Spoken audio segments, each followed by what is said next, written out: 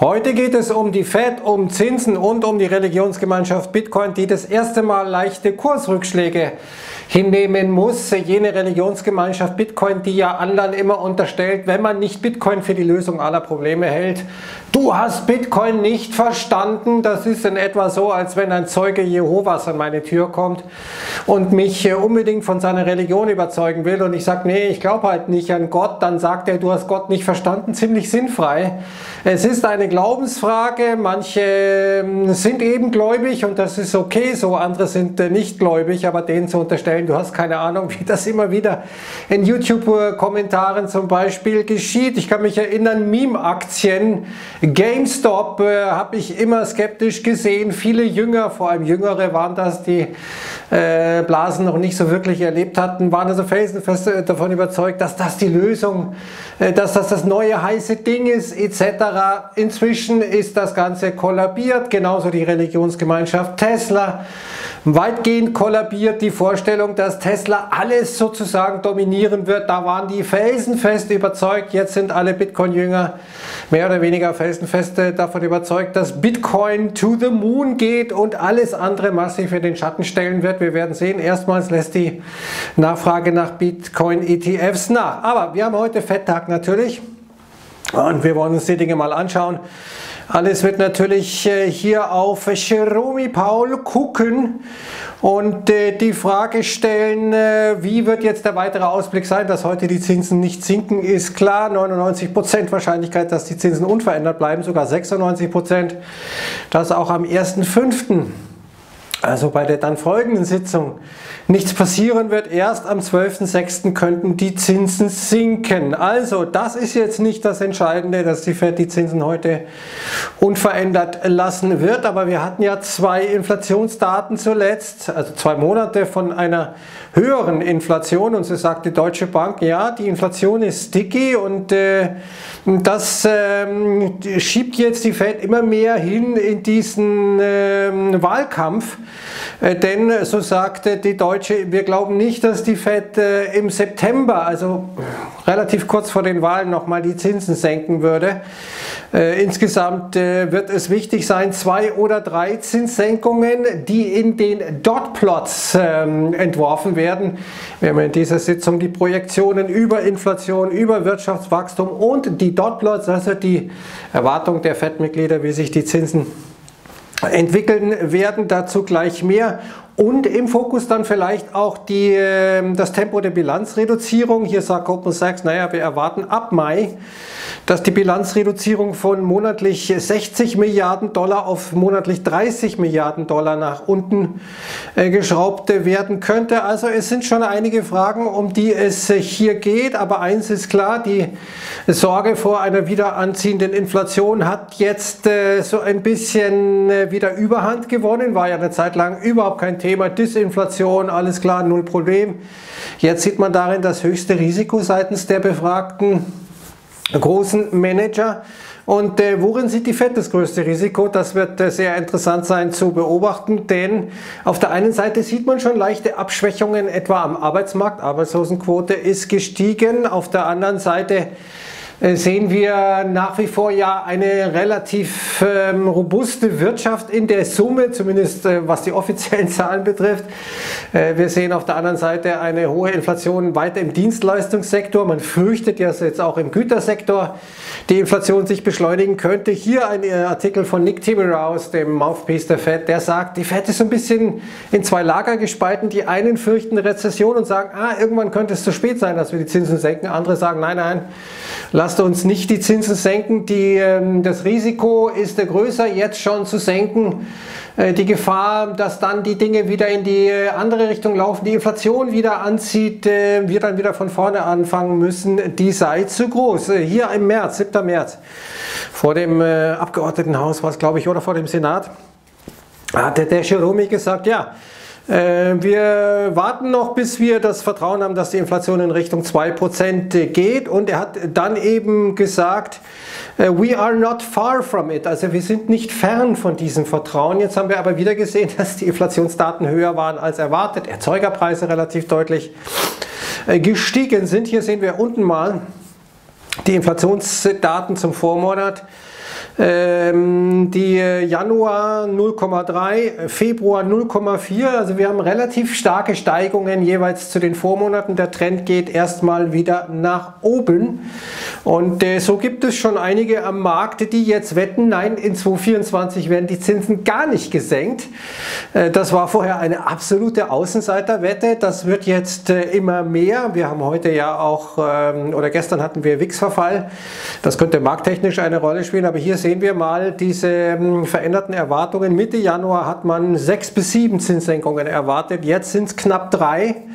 Um und bei drei geht also kontinuierlich weiter zurück aufgrund höherer Inflationsdaten und nach wie vor einigermaßen robuster Wirtschaftsdaten. Und äh, so sehen wir Zinserwartungen fallen. Lange war das relativ parallel zu den Aktienmärkten hier im Nasdaq. Äh, aber jetzt ist diese Lücke so gigantisch groß, weil man eben KI-Euphorie spielen konnte und gesagt hat, egal, äh, wir haben Nvidia und so weiter. Aber wir sehen beim Nasdaq schon erste kleine Seltsamkeiten. Dazu gleich mehr. Nochmal hier die Fed. Nehmen wir mal an, die Dotplots, also das, was die äh, Mitglieder erwarten, würde sich nicht ändern. Also die Fed würde weiter ausgehen von drei Zinssenkungen. Dann wäre das wahrscheinlich ähm, hier erstmal ein Faktor, der leicht positiv für die Märkte wäre. Kult Altrichter zeigt hier mal in diesen Dotplots vom Dezember, hatten die FED-Mitglieder die Zinsen am Ende des Jahres bei 4,265 ähm, Prozent erwartet, sprich drei Zinssenkungen. Was aber, wenn jetzt äh, dabei rauskommt 4,875, das wären nur zwei Zinssenkungen, äh, das wäre ein ziemlicher Schock für die Märkte. Man rechnet nicht so wirklich damit, kann es aber nicht ausschließen. Aber nehmen wir mal an, das Basisszenario tritt ein, also die FED geht weiter von, oder in den Dopplots wird weiter davon ausgegangen, dass die Zinsen vielleicht dreimal sinken. Dann wäre das äh, letztendlich ähm, vielleicht erstmal so ein Erleichterungsmoment äh, für die Märkte, dass man sagt, naja, also ähm, die höheren Inflationsdaten aus Januar und Februar haben die Fed jetzt nicht noch hawkischer gemacht. Äh, das ist doch positiv. Wir würden dann vielleicht ein kurzes Aufpoppen sehen, würden fallende Renditen sehen, fallenden Dollar sehen. Das würde das bullische Momentum, wie ähm, Kurt Altrichter hier sagt, am Laufen halten, aber es wäre kein neuer bullischer äh, Catalyst, äh, kein Katalysator für eine neue bullische Bewegung. Mal sehen, wie es äh, passieren wird. Eins ist klar, wir sehen, wenn wir jetzt mal zu Bitcoin kommen, das heute zwischenzeitlich unter Druck ist, zwischenzeitlich unter 61.000 Dollar gefallen, hat sich dann wieder in Richtung 63 erholt. Aber hier sehen wir, Demand for US Bitcoin ETFs is faltering. Wir sehen also diese Geschichte, die scheint jetzt so ein bisschen ihren Hochpunkt, nämlich die Nachfrage nach diesen Bitcoin ETFs, ihren Hochpunkt überschritten zu haben. Aber eins ist immer wieder auffällig, wie gestern ein Kommentar. Nun, Herr Fugmann, das Thema Bitcoin sollten Sie für die Zukunft besser ausklammern, da Sie äh, ganz offensichtlich Bitcoin nie verstanden haben. Okay. Bitcoin. Also alle, die nicht gläubig sind und Bitcoin für die Lösung aller Probleme haben, die haben Bitcoin nicht verstanden. Das sind also die Erweckten, die Hellseher, die äh, verstehen, andere verstehen nicht, sonst würden sie verstehen, dann wären sie große Fans, wären große Gläubige, der große Bitcoin-Gott. Also das ist so ein bisschen diese Idiotie, dieses Dümmliche, was mich nervt. Äh, wer schon gläubig ist, der kann gläubig sein, aber wenn andere nicht glauben, dann sollte er ihnen nicht unterstellen, dass sie halt nicht verstehen, um was es hier geht, sondern sie glauben halt nicht. Bitcoin hat keinen inneren Wert, ich glaube, das kann man zugeben, basiert darauf, dass andere ihm einen Wert zuschreiben und bereit sind, äh, zu einem höheren Preis von Fiat-Geld mir dieses Asset äh, abzukaufen. That's pretty much it. Viele glauben dran, andere glauben nicht dran. Und äh, ich werde nicht aufhören, über Bitcoin zu sprechen, weil es nicht darum geht, ob ich es verstanden habe, sondern ich beschreibe vor allem eben diese Mentalität, die dahinter steht, diese Religionsgemeinschaften, äh, die letztendlich äh, hier immer wieder zum Vorschein kommen. Michael Saylor kauft Bitcoin, er wird einen Teufel tun, auch nur einen einzigen Bitcoin zu verkaufen, denn er hat Bitcoin verstanden. Auch wieder so ein dümmlicher Satz. Das ist jemand, der im Prinzip ein Schneeballsystem aufzieht, so viel Bitcoin kauft wie möglich, das Ganze noch auf Pump und das Ganze geht so lange gut, wie der Preis steigt. Wenn der Preis unter Druck kommt, dann wird er gezwungen sein, Bitcoin zu verkaufen, weil dann der Margin Call wahrscheinlich ähm, nahe ist. Ich weiß nicht, wie er es gekauft hat. Ähm, normalerweise musst du ja nicht alles hinterlegen, wenn du einen Bitcoin kaufst, je nachdem, wie du es machst oder worüber du es machst. However, Er wird wahrscheinlich früher oder später gezwungen sein, äh, Bitcoin zu verkaufen, ob er will oder nicht. Aber natürlich hat er Bitcoin verstanden und versucht deswegen so viele Bitcoin zu bekommen wie möglich. Ich kenne Leute wie Marc Friedrich persönlich oder Roman Rea, den Blocktrainer, alles Bitcoin-Gläubige, super nette Leute und äh, die haben ihre Gründe. Ich äh, gönne ihnen das, das ist völlig okay. Aber es gibt eben andere, die sind nicht gläubig und das ist auch okay. Akzeptiert das bitte mal. Äh, das ist wirklich anstrengend, immer mit diesen Religionsgemeinschaften, die latent intolerant sind. Alle, die nicht sozusagen an meine Religion glauben, an meinen Monotheismus glauben, die haben es natürlich nicht verstanden. Das ist wirklich intellektuell ziemlich schäbig.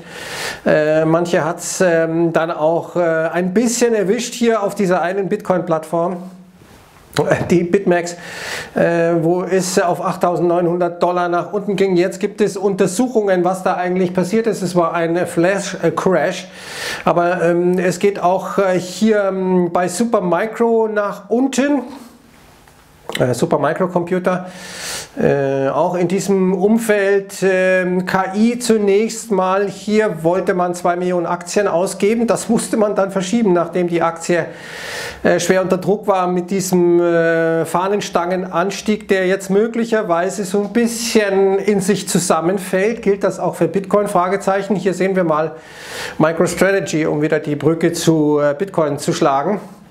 Michael Saylor hat ja jetzt äh, wieder gekauft für 623 Millionen Dollar Bitcoin gekauft. Insgesamt gucken wir uns mal MicroStrategy an.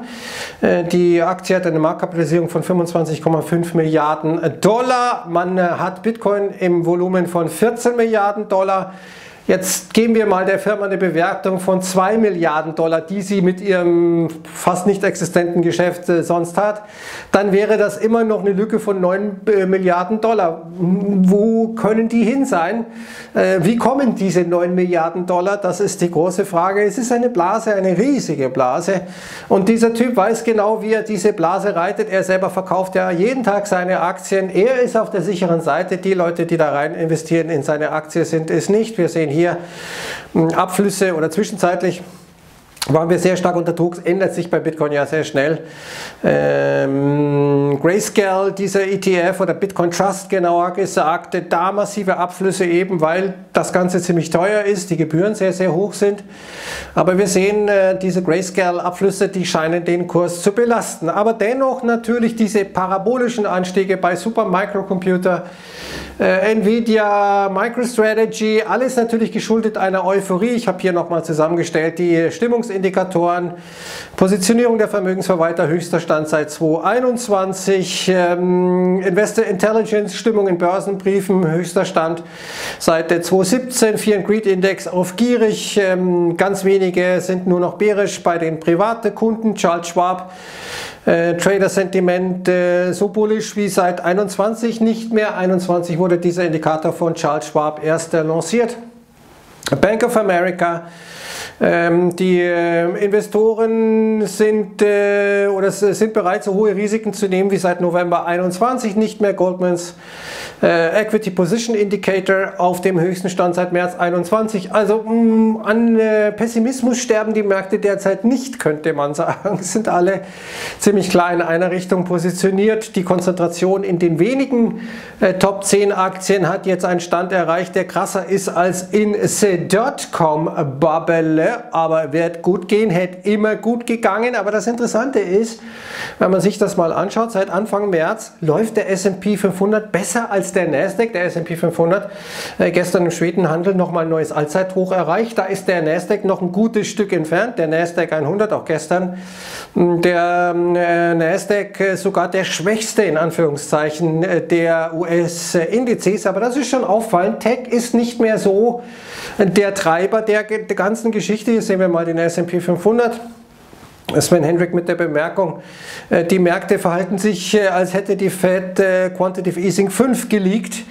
Es geht in dieser Wedge immer weiter nach oben. Das wird noch eine sehr, sehr interessante Phase, während beim Nasdaq äh, zu beobachten ist beim Nasdaq 100 hier Chart von Ron Walker, dass der aus seinem Aufwärtstrend eigentlich schon rausgefallen ist und permanent versucht dann wieder ranzulaufen. Runter lässt man ihn noch nicht, aber richtig rein in den Aufwärtstrend kommt er eben auch nicht. Der abschließend, meine Damen und Herren, nochmal eine Untersuchung der Bundesbank, wenn wir nach Deutschland springen. Äh, unproduktives Deutschland. Jetzt rechnen sich viele Zombie-Unternehmen. Wir sehen ja, das Produktivitätswachstum sinkt immer weiter. Ein Grund dafür sind Zombie-Firmen, also Firmen, die überlebt haben, äh, weil keine Insolvenzen äh, mehr zugelassen wurden in Corona. Immer weniger Firmengründungen, ähm, immer weniger Geschäfte werden aufgegeben, auch wenn wir jetzt natürlich eine Insolvenzwelle sehen. Aber das ist einer der Faktoren, die zu, diesem, äh, zu dieser Schrumpfung der Produktivität geführt haben, wie die Bundesbank zeigt. Ist klar, wenn du äh, als Arbeitnehmer bei einem äh, Zombie-Unternehmen bist, das also faktisch kein Geld verdient, nicht sehr produktiv ist, aber eben auch nicht äh, stirbt sofort, dann bleibst du bei diesem Unternehmen. Würdest du deinen Job verlieren, würdest du vielleicht zu, zu einem anderen Unternehmen gehen, das produktiver ist. Aber das äh, passiert nicht. Also wir sehen hier die ersten klaren Auswirkungen der Nullzinspolitik der Notenbanken. Wie geht es weiter? Zinsen, was ist von der FED-Sitzung zu erwarten? Der Jerome Paul, wird er dovisch? Wird er sagen, wow, wir senken die Zinsen, ja, lass die Inflation mal steigen, ist er real, ja. Jetzt schon von selber wieder weg, die Inflation. Ja oder nein? Was da zu erwarten ist. Erste Empfehlung, meine Damen und Herren, als Artikel. Und die zweite Empfehlung. Äh, jetzt wollen die Deutschen auch ein bisschen mitmachen im Hype von die Kryptos. Deutsche Banken scharf auf Kryptohandel. Äh, ne? Ihr Deutschen kauft Bitcoin und werdet zur werdet Mitglied der Religionsgemeinschaft Bitcoin.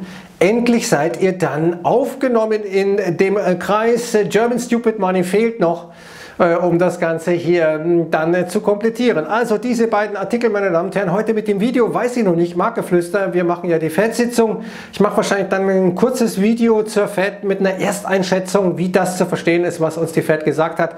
Also diese beiden Artikel und heute Abend FED 19 Uhr und 19.30 Uhr. Servus, ciao.